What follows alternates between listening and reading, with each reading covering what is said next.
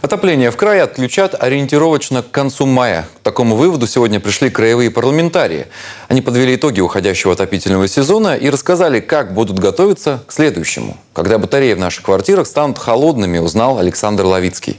Согласно постановлению правительства России, отопительный сезон заканчивается тогда, когда в течение пяти дней держится среднесуточная температура плюс 8 градусов. В некоторых районах Красноярского края уже были зафиксированы такие показатели, однако потом вновь пришло похолодание. Сегодня краевые власти решают, когда отключать отопление и подводят итоги уходящего отопительного сезона. В краевом центре за прошедший сезон отчитались теплоэнергетики и департамент городского хозяйства. В целом, несмотря на то, что случаи отключения все же были, год власти оценивают как успешный успешный. Общее количество отключений подачи ресурсов жителям города снизилось. В 2013-2014 году по сравнению с 2012-2013 году на 4%.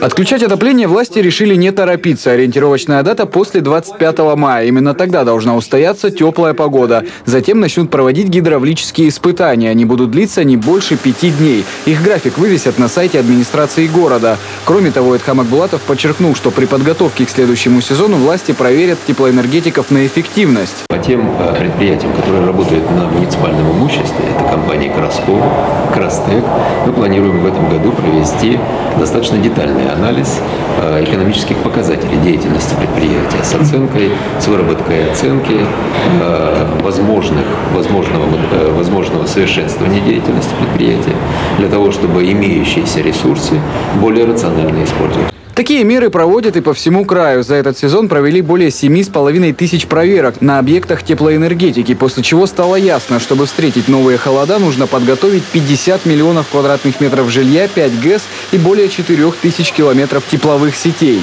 В целом эта сумма э, будет равняться около 8 миллиардов рублей. Но хотелось бы отметить, что большинство этих средств – это средства предприятий, которые они получают в тарифе и э, которые должны будут эти средства направить на ремонтные работы.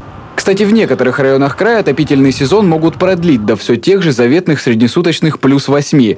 Все же подготовительные работы к новым холодам должны завершиться к 15 сентября. Александр Ловицкий, Николай Островский Денис Тимошенко. Новости.